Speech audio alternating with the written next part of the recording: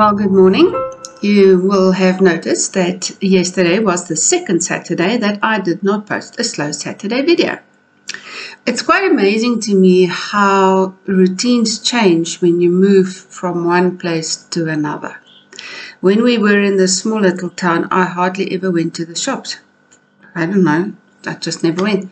And um, I usually filmed on a Saturday morning when my husband was out and since we've moved to Pretoria now, on a Saturday, I trot around with him because it's absolutely enjoyable and um, I love spending the time with him. So Saturdays are just no longer working out. So I decided let's change it to a slow Sunday instead but I'm going to do it every second week because I'm working full time now. I'm not spending as much time as I used to knitting and crocheting and doing new designs. So the results come a little bit slower. So I think every second Sunday is a better bet. So let's do every second Sunday a slow Sunday. Right. So what have I done in these two weeks? Well, I got more of that yarn, believe it or not. I couldn't help myself. Quite interesting um, uh, the plain Jane V pattern that I published, was it this week? I think it was this week or the previous week. Mm, I don't know.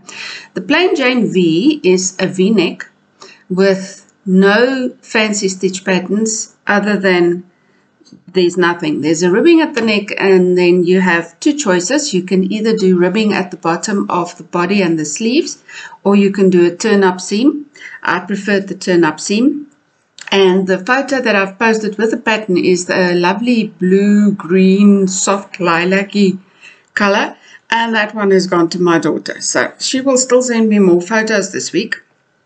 But that meant that I didn't have a v-neck for myself. And I thought I wouldn't like it. I really thought I wouldn't like it, but when I fitted it for one photo, I really, really liked it. So I decided, let me first stop the designing and make myself one of those v-necks because yeah, I just had to have one. So I dipped into my stash of um, this Camilla Batik. And here she is. She's not finished yet. I finished knitting last night. I haven't um, woven away the tails. So I'm going to do that today. Um, but there she is. I love the colors. I really do. So yeah, this one is also plain Jane v-neck. And when she's done, I'm going to start with a plain Jane crew neck. Because there's a lot of people that, well, I'm one of them. I like plain knitting. Yeah, I can do cables, I can do fair I can do brioche, I can do intarsia. I've done all of that. Um, I'm just knitting so nicely in front of the TV lately, sitting chatting with my husband, watching a TV show, watching sport and whatever. So I'm really enjoying the plain stocking stitch knitting. And especially for newbies who've never knitted a garment in their life, the plain Jane is a very good place to start because you will get the basic concepts and it's so easy to adapt this pattern to something else. I mean, if you want to make a winter's pullover with this, you just buy merino instead of cotton and you make long sleeves. It's, it's so easy. Instead of stopping here, you can just carry on and decrease the sleeve a little bit more. And even that is in there for you. So um, the pattern is really worth buying. For $5, you can do anything with this. So um, I can't wait. I'm going to wear this on Tuesday. On Tuesday, she's going to work because on Tuesdays I go to Sandton. So guess what I'm wearing on Tuesday? My mother always made fun of me. She was Afrikaans and she said, Funny gat, which means it came off the, the hook or off the needles and it's already on your bottom. True that. Okay, so I want to make the crew neck next. Now, I have four, believe it or not, four of these Camilla batik yarns still that I want to do. Um, I haven't decided which one I'm going to use for the crew neck. I'm probably going to go for this one. I must admit, this one is actually my favorite. Now, uh, earlier this week, I had a discussion with my testers about this yarn, and um, I suddenly I remembered that I had worked with this yarn before. I have. I just couldn't remember where. And I was thinking and rattling my brains and trying to figure out where have I worked with this yarn before? And I remember that I got five balls as a gift from a from a buyer at that stage. She was one of my clients at Yarn and Barn. She used to come and we used to sit and chat for hours, and she always brought sweets for me. Her name was Monica Snyman. Monica Snyman gifted me five balls, and I knew I had crocheted with it, but I couldn't remember what. I really had to rack my brain.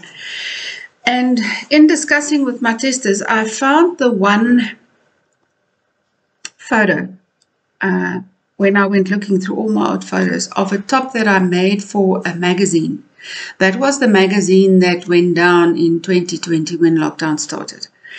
And I posted the photo and I said, I made this top with it. And the one tester said to me, Yeah, but there was another top that you made on this pattern. It was a pink one. And I thought, Huh? Back to the photos, looking for it again. And I found the photo.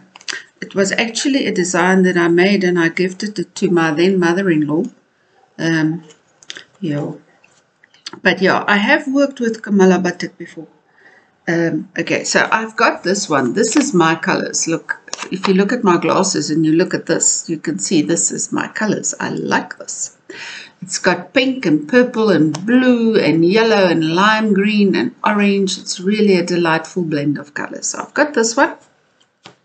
And then I have that one that makes me think of a sunset, but the white spoils the sunset a little bit. But yeah, it's in there. It's it's beautiful. It's yellow and orange and red and purple and then this whitish color. And then I have the one that I've showed you before. It's pinks and grays. And then there's a new one that I got that's a very pastely pink, pastely purple with a little bit of natural in there as well. So one of these will become a crew neck, plain Jane, and then I'll, I'll see what happens to the rest. But Moya has sent me some yarn for that lace top that I want to make. I'm not sure which one I'm going to do next. Probably the plain plain Jane crew neck because that's for, foremost in my head. And then I'll start with the lace probably after that. I don't know. But I'll have to get something nice to knit on the road. We're going down to Cape Town in um, December, just after Christmas. We're going to take a drive down to Cape Town. So I need to have nice knitting for the road as well. So it probably won't be the lace top then because in the car I don't want to make notes and I don't want to read notes. I just want to knit happily in the round. So this is the shimmer that they dyed for me. They call it Phoenix. It's like a, oh, how do we describe this? It's like, makes me think of wine, but it's not as deep as wine. It's this dark rose. Yeah, rose is a good way to put it. I don't know. It's, it's beautiful. I can't wait to start working with it. Shimmer is my favorite moya yarn to knit with. It knits up especially beautifully. And it's got this lovely drape. It's perfect for a summer top. So this is what is now in my lineup. Five five tops. it's five summer tops. And I want to challenge myself and see if I can if I can finish five summer tops before the winter comes. For winter, I've got nice yarns lined up. You will remember from last year, I've got um, merino and kid silk from Colourspun still waiting for me. I've got mohair still waiting for me. I've got that Aran cotton and kid silk combo that that I had last year with Let's Talk Purple that's still waiting for me. I think there's a cherry red and there's an emerald green and there's a turquoise mohair. And I'm positively convinced there's harmony in there somewhere. Oh, that was for my husband. I've got harmony for my husband in there somewhere. And I can't remember what else. Yeah, but that's that's the winter knitting. So in South Africa, we're still on a summer streak. It's high summer here. It's getting hotter by the day. So it's all about summer tops at the moment, and I have five lined up. Right. Before I go, I want to give you a good um, gift idea for Christmas. I've been walking around with this idea in my head. You will remember that in the previous podcasts, we spoke a lot about the people that are dying around us. And my husband and I have been to some funerals and we've watched some funerals. And I remember when a friend of mine died, I think it was 2012. Ooh, it's, it's a couple of years ago.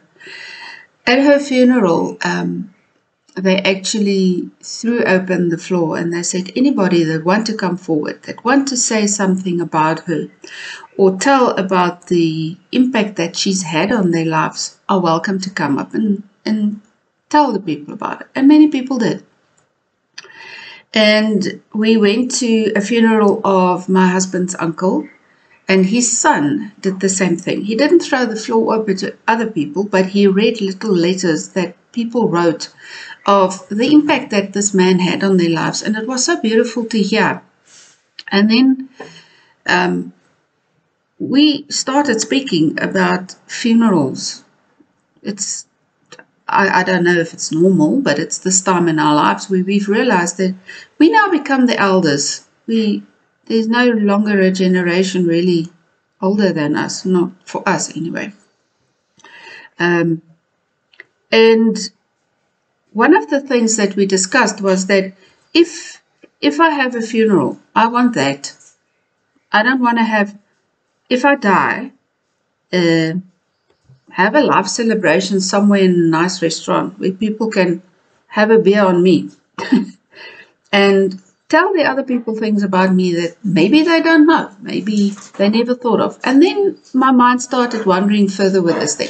Why are we waiting for somebody to die before we say these things? Why don't we say it to them while they're alive why don't we go and say, you know what impact you had in my life back then when this and this and this happened? You did this and this and that. And it made me feel this and this and this. Because that person will appreciate it when you tell them to that. When you tell it to them while they're alive. Why do we wait until somebody's dead before we say these beautiful things?